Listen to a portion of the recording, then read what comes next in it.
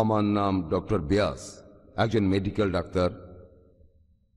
আমরা এখানে এসেছি। সার্বজনীন ভ্রাতৃত্ব নিয়ে নতুন কিছু কথা শুনতে। আমরা এখানে ইসলাম ধর্মের ওপর কোনো লেকচার শুনতে আসিনি। আমি এখানে আপনাকে অনুরোধ করব, আপনি বলুন, এই পৃথিবীর ভ্রাতৃত্ববোধের কিছু কথা, এখন এটা সার্বজনীন ভ্রাতৃত্ব আমি এখানে জানতে আসিনি বিশ্বজগতের অন্য কোথাও আমাদের কোনো ভাই আছে কিনা। ইন্ডিয়াতে অনেক ভাই আছে। তাই আমরা ইন্ডিয়ান ভ্রাতৃত্বের কথা বলব। আর এই দেশে মানুষের ভ্রাতৃত্ব কীভাবে? দেশের ইতিহাসকে গত একশো বছরে কতখানি প্রভাবিত করতে পেরেছে? ভাই, আপনি খুব সুন্দর প্রশ্ন করেছেন, খুবই প্রাসঙ্গিক প্রশ্ন। তিনি বললেন যে আজকে তিনি এসেছেন সর্বজনীন ভ্রাতৃত্বের কথা শুনতে।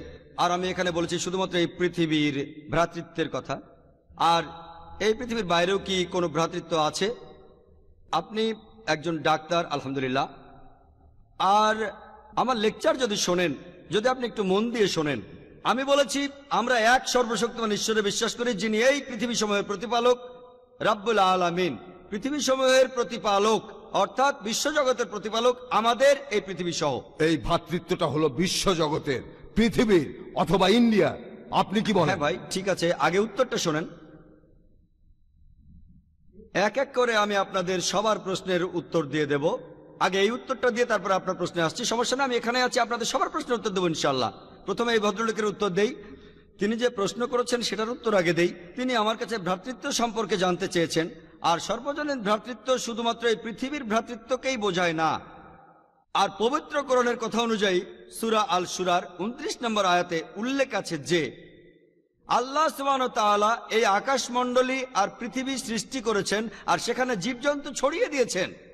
তার অর্থ পবিত্রকরণ বলছে যে এই পৃথিবী ছাড়াও এই বিশ্বজগতে অনেক প্রাণী আছে। পৃথিবী ছাড়া অন্য গ্রহেও প্রাণী আছে। বিজ্ঞান এখনও এটা প্রমাণ করতে পারেনি যে পৃথিবীর বাইরেও আরও জীবন আছে। আপনারা জানেন যে বিজ্ঞানীরা এখন রকেট, স্যাটেলাইট, আরও কত কিছু এগুলো পাঠিয়ে দেখছে যে কোথাও প্রাণী আছে কিনা। এখনও প্রমাণিত হয়নি বিজ্ঞান বলছে, এটার সম্ভাবনাই বেশি। তবে কোরআন বলছে, এই পৃথিবীর বাইরেও প্রাণ আছে। আমরাও এটা বিশ্বাস করি। সর্বজনীন ভ্রাতৃত্ব শুধুমাত্র এই পৃথিবীর জন্য নয়, এটা অন্যান্য সমস্ত পৃথিবীর জন্য। আর আপনি ঠিকই বলেছেন, এই ভ্রাতৃত্ব ইন্ডিয়ারও। ইন্ডিয়ার জন্য পুরো পৃথিবীর জন্য। আর এই ভ্রাতৃত্ব বজায় রাখার জন্য যদি আমার লেকচার শুনে থাকেন, তাহলে সেগুলো আমি বলব না।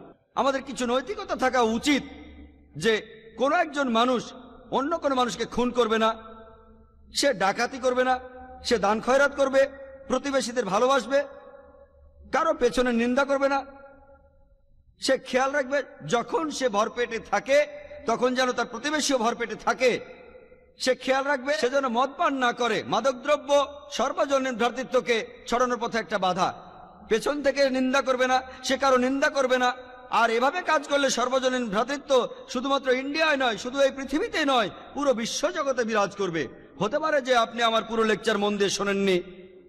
আমার লেকচার আলহামদুলিল্লাহ এই বিষয়টার উপরে ছিল সেটা। আর এখানে আমি ইন্ডিয়া, আমেরিকা, এই পৃথিবী আর পুরো বিশ্বজগতের কথা বলেছি। আর এটা শুধু তখনই বিরাজ করবে যদি সব ধর্মের অনুসারীরা বিশ্বাস করা শুরু করে যে সৃষ্টিকর্তা, পুরো মানবজাতির স্রষ্টা সকল প্রাণীর স্রষ্টা হোক সেটা ইন্ডিয়ায় হোক আমেরিকায় অথবা পৃথিবীর বাইরে, আমাদের সৃষ্টিকর্তা কেবলমাত্র একজনই। আর প্রত্যেকটা ধর্মেই আসলে বলে থাকে একজন সৃষ্টিকর্তার কথা যেটা আমি আগেই খুলে বলেছি। ঈশ্বরের ধারণা সম্পর্কে বিস্তারিত জানার জন্য আমি একটা লেকচার দিয়েছি।